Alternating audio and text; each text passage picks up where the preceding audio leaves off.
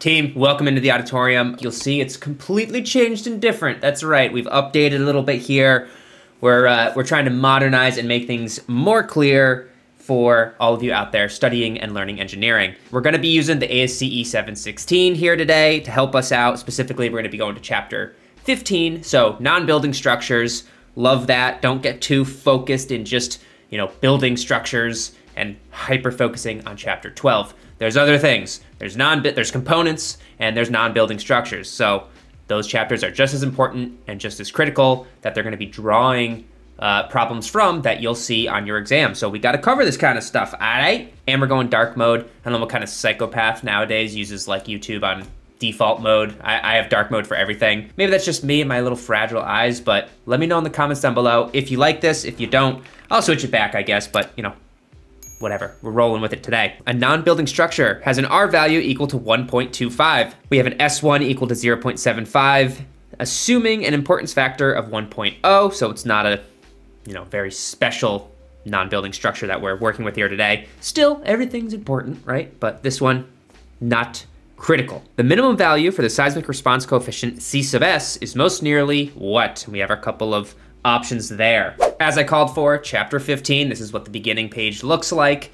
Uh, and you'll see, oh, let's get our let's get our drawing going. Non-building structures. It gives definitions of what non-building structures are and are not, when you're permitted to use this chapter, when you get kicked out of this chapter to another chapter. So if you're ever on the fence as a new engineer trying to figure out like, oh, what what pertains to me, they give you criteria and steps to uh, go through to determine, hey, am I in the right spot? So these first pages of all of these chapters are always, um, I think, overlooked. They were by me when I was younger, but they contain a lot of very straightforward and great guidance on what you need to do, as they should, right? Uh, but we're gonna skip by it as I say all of that, because it doesn't pertain to us here today.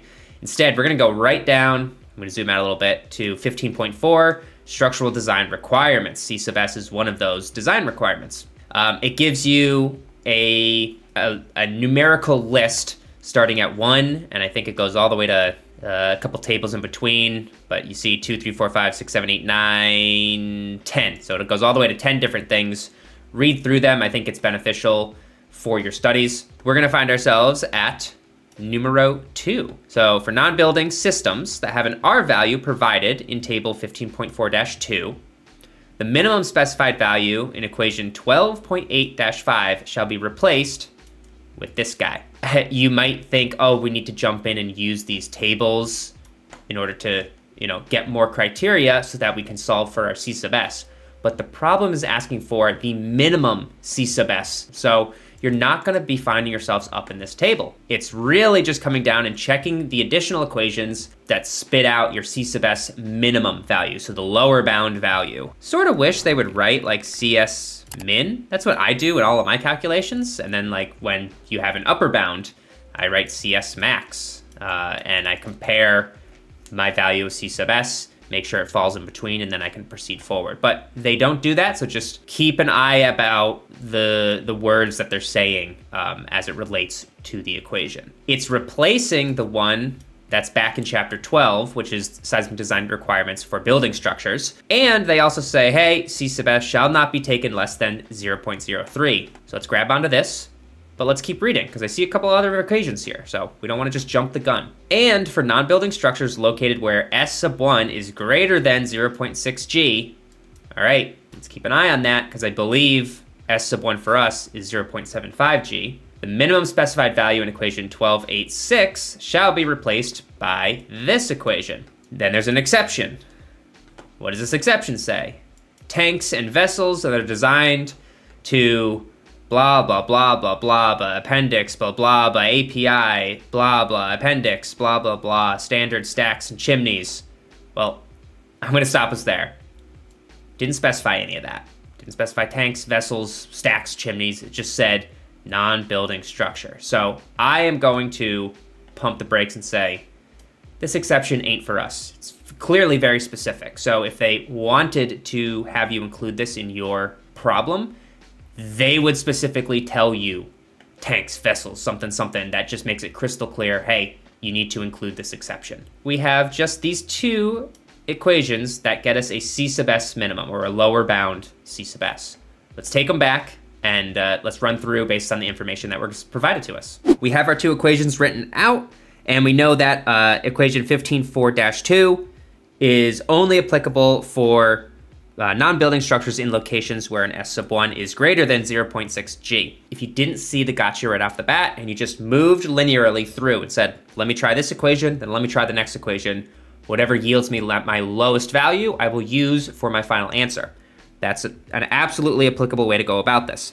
So we'll start with equation 15.4.1, and we'll see very quickly we need an SDS, which was not provided to us. If you head back to chapter 11, you'll see SDS is equal to 2 thirds SMS, and SMS, am I in the way? No, is uh, you need, I think what's equal to S sub S times F sub A? I believe it's something like that. So you need a lot of additional criteria that you would need to assume uh, that you can't you can't get from what they provided to you. So there's no clear way to go about finding SDS. So you're stuck with that equation. You go, I, I can't solve that equation. It's not applicable to me.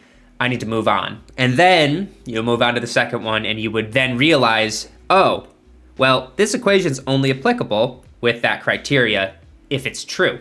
Our S sub 1 is equal to 0.75 G, which means this is true. So this first equation, regardless, I'll go blue, is not to be used as a lower bound C sub S equation. Instead, you must use 15.4-2. And when we look at that, lo and behold, I'll stay in blue, we have S sub 1, we have R, we have your importance factor. So we have everything, let's plug in and see what we get. That gets us 0.48, and when we go up, we go green. Well, it's pretty clear there's only one choice. D is going to be that final answer that I would choose. Everything else is way too low, C sub S. There you go, that'll about do it. Let me know how all this room in the auditorium. Are you enjoying it? Are you not? The, the lights dim down low, the black background. Let me know in the comments again if you're enjoying it, something that I can help improve for next time. I'm really trying to push out better quality content for the group, for the gang. So keep an eye out for it. And uh, this is Rich with Team Kestava, and I'll catch you in the next one. Peace.